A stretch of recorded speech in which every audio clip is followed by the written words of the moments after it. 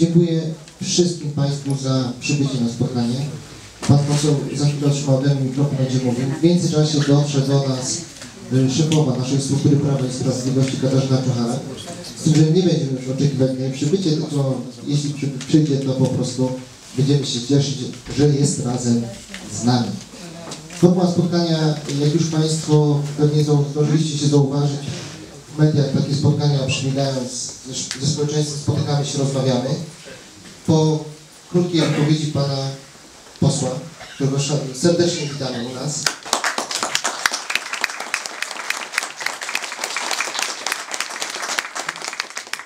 Nastąpi czas na zadawanie przez Państwa pytań. Chcemy rozmawiać? Będziemy rozmawiać i ta część jest zwykle najdłuższa. Dziękuję ślicznie raz jeszcze za przybycie. Przekazuję mikrofon. Serdecznie dziękuję panu senatorowi za serdeczne i życzliwe przyjęcie, ale przede wszystkim pragnę na wstępie bardzo nisko Państwu wszystkim pokłonić się i podziękować za to, że mimo wolnego dnia, mimo pięknej pogody, zechcieliście Państwo tutaj przyjść, ażeby porozmawiać o Polsce, o naszym wspólnym domu.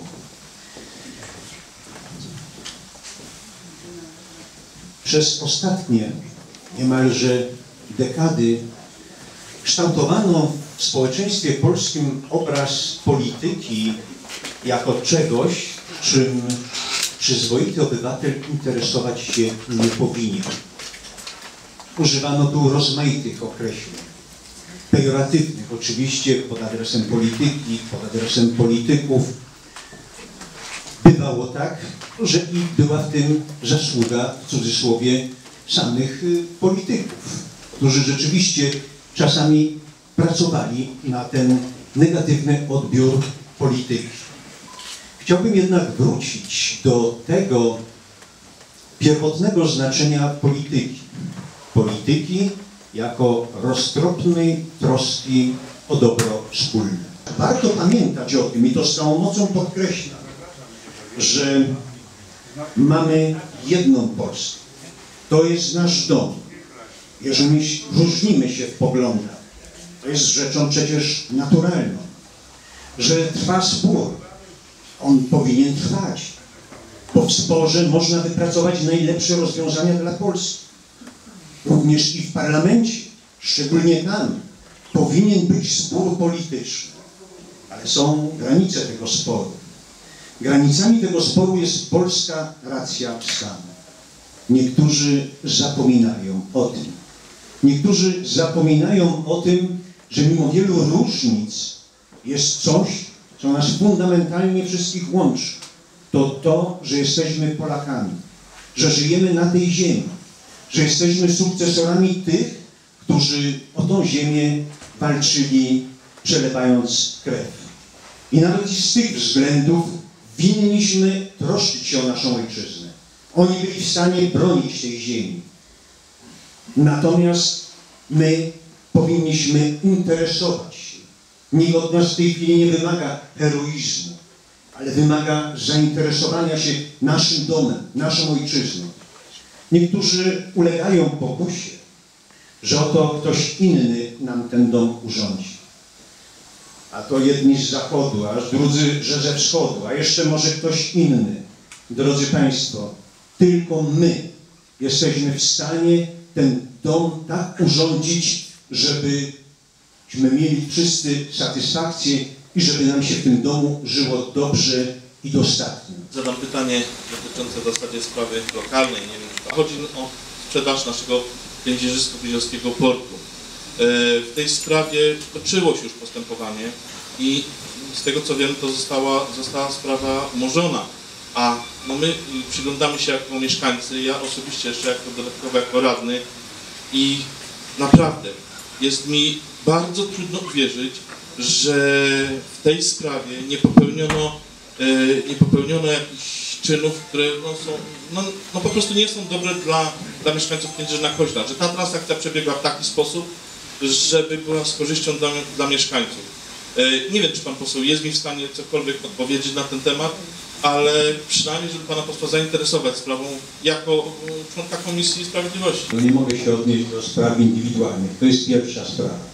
Druga to jest taka, że proponuję, ażeby stosowne dokumenty, jeżeli opisujące tą sprawę, ażeby Pan przedstawił za pośrednictwem tutejszych parlamentarzystów, którzy są bardzo zaangażowani i w szczególności Pani poseł, Pan senator, no jestem pod wrażeniem ich e, ciężkiej pracy, wielkiego zaangażowania. Natomiast oni pozostaną ze mną w kontakcie i będę starał się tej sprawie nadać dalszy bieg. A więc zainteresować tych, których powinienem tą sprawą zainteresować, ażeby ją poddać kontroli, czy rzeczywiście postępowania toczą się prawidłowo. I jeżeli Pan przyjmie tego rodzaju odpowiedź, to będę bardzo wdzięczny, no bo w tej chwili niczego więcej zadeklarować nie mogę. Ja mam takie pytanie, ponieważ miało być krótko, to już abstrahując od wielokrotnego łamania przez PiS Konstytucji, o czym każdy świadomy obywatel wie, chciałam zapytać o reformę sądownictwa. Chciałam zapytać o prezes Przyłębską. Chciałam zapytać, jakie ta osoba ma kwalifikacje poza tym, że jest częstym gościem na Nowogrodzkiej, bo jak Zgromadzenie Ogólne Sędziów Sądu Okręgowego w Poznaniu zaopiniowało jej kandydaturę na sędziego negatywnie, ze względu na wysoką absencję i liczne błędy przy wydawaniu orzeczeń.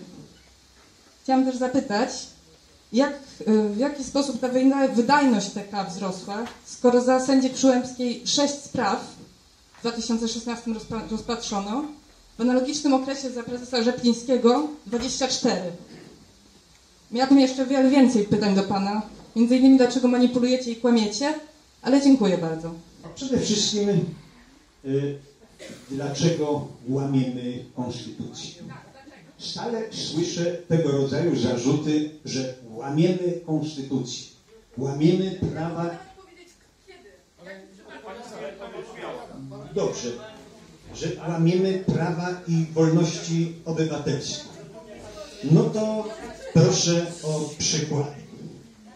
A w jakim to zakresie prawa i wolności obywatelskie są nieprzestrzegane? Chcę powiedzieć, że ta wolność ma się lepiej niż miała się w minionych latach.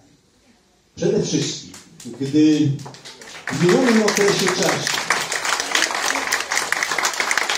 skrytykowano prezydenta Komorowskiego, no to chłopaka ułapiono i sprawę karną zrobiono. Gdy obywatele, no do tego się odnoszę, no pani mówi o łamaniu konstytucji. Mówi pani o łamaniu konstytucji, więc się do tego odnoszę. No. Podstawowe, podstawowe prawa i wolności obywatelskie. Obywatele mają prawo zrzeszać się. Mają prawo krytykować, tak jak Pani wystąpienie jest właśnie przykładem tego, że wolność, wolność słowa w Polsce się ma dobrze. Można krytykować, można mówić, a ja z uśmiechem, ależ będę wdzięczny niesamowicie, jak Pani mi pozwoli wypowiedzieć się na ten temat. Więc chcę pokazać, że te zarzuty, które Pani podniosła, to są tylko hasła bez pokrycia. Tam nie ma żadnych konkretów. I teraz, i dlatego odnoszę się. Jeżeli, ale no przecież, o, jeżeli, jeżeli demokracja, jeżeli demokracja i wolność słowa ma wyglądać tak, jak pani prezentuje, to ja nie chcę takiej demokracji i wolności. No, y, ja wiem, y, chce pani się odnieść do tego, co ja jeszcze nie powiedziałem, no więc proszę powiedzieć. No, y, jeżeli. Ależ no to przecież... Ależ droga pani, ja sobie zanotowałem te pytania, ale no przecież pani zadała... Ale pani zadała szereg pytań i dlatego odpowiadam po kolei na te pytania i do wszystkiego dojdę. I do wszystkiego dojdę. Więc gdybym nie odpowiedział, pani protesty byłyby słuszne, ale jestem na etapie odpowiadania, a pani jest niecierpliwa bardzo. Ja rozumiem, bo już do tego przywykłem.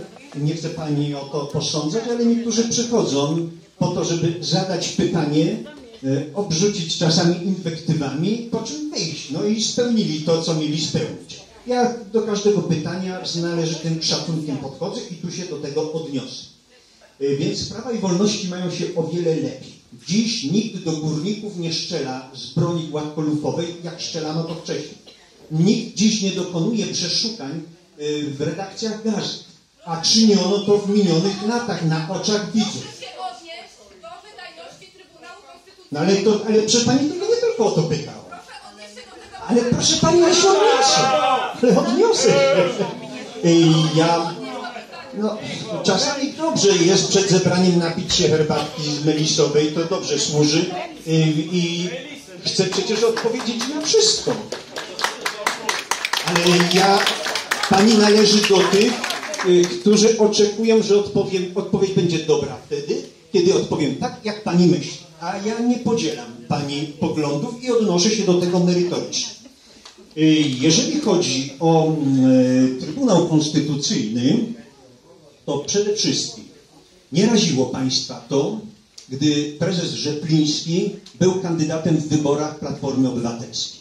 Nie raziło Państwa to, gdy prezes Rzepliński przesiadywał w siedzibie Platformy Obywatelskiej. Wtedy był rzekomo niezależny, y, niezależny. Nie raziło Państwa to, kiedy prezes Rzepliński wdawał się w politykę, co jest niedopuszczalne z punktu widzenia konstytucyjnego. To nie raziło. Natomiast zarzuty o upolitycznienie dzisiejsze są po prostu wyssane z palca. Ja konkretami dysponuję. Y, Jeżeli chodzi o mm, pracę Trybunału Konstytucyjnego, warto podkreślić, kto dokonał złamania Konstytucji. Złamania Konstytucji dokonała Platforma Obywatelska. Platforma Obywatelska dokonała złamania Konstytucji. E, Jakby pani była uprzejma wysłuchać mnie, bo ja słucham cierpliwie pani pytań. I pamiętam je i cierpliwie wsłuchiwałem. Platforma dokonała złamania Konstytucji, wybierając sędziów do Trybunału Konstytucyjnego na wyrost do przodu. Mało tego, mało tego, nawet. Ale, ale pani nie ma argumentów, tylko inwektywy. Inwektywy. Ale droga pani, umówmy się w ten sposób. Y, Jak pani mówiła, ja słuchałem. Skończę mówić, a organizatorzy udzielą pani głosu, będzie pani mówiła. No, kultura wymaga tego, żebyśmy nie mówili naraz. Pani jeszcze nie wie, co chce powiedzieć, a już pani protestuje. Więc to, to, to jest dla mnie niepojęte. To odnoszę wrażenie, jakby pani nie chciała się dowiedzieć, tylko... Proszę pani, nawet zła, fakt złamania konstytucji przyznał Trybunał Konstytucyjny pod wodzą prezesa Rzeplińskiego, bo nie miał innego wyjścia. Musiał przyznać to, że Platforma złamała konstytucję, wybierając sędziów Trybunału Konstytucyjnego do przodu na zapis. Ale E, pan nie odpowiada na pytania kobiety. Pan nie odpowiada na pytania. A co robię? Na, na. Ale przecież nie skończyli wypowiedzi, no więc y, ja się różnię tym od Państwa, że Państwa rzucacie hasło, ale ja odnoszę wrażenie, że Państwo przyszli z góry z zamierzonym celem, a więc y, jeżeli em, jestem skłonny odpowiadać, natomiast trudno jest odpowiadać y, na, że złamano konstytucję, nie używając żadnych argumentów, nie przedstawiając faktów. Te fakty nie zostały przedstawione przez Panią. Dlatego odnoszę się i pokazuję, że w tej chwili przywracamy to, jak Trybunał zgodnie z Konstytucją funkcjonować powinien. To jest przede wszystkim i realizujemy w tym zakresie orzeczenie Trybunału Konstytucyjnego.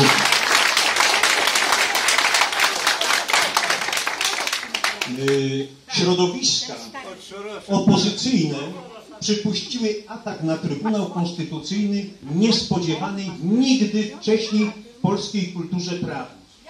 Y, Zaczęto dezawuować instytucje państwa polskiego. Y, Odmawiano, odmawiano sędziom prawa pełnienia ich obowiązków. Prezes Rzepliński nie dopuszczał sędziów Trybunału Konstytucyjnego do orzekania.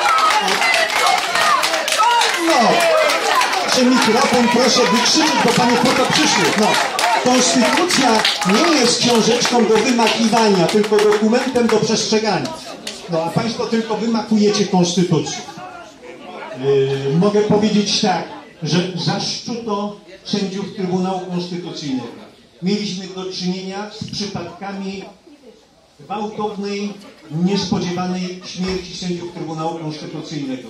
Panów profesorów, którzy byli szanowanymi pracownikami naukowymi, nie przywykli do takich ataków. Przeżywali to bardzo. Z kręgów zbliżonych do ich rodzin wiem, że przeżywali niesamowicie tą niesłuszną, niesprawiedliwą krytykę, personalne ataki. Nie mam dowodów, ale nie mogę tego wykluczyć, że nie wytrzymali tej presji i to spowodowało, że obydwaj panowie profesorowie przed czasem zmarli.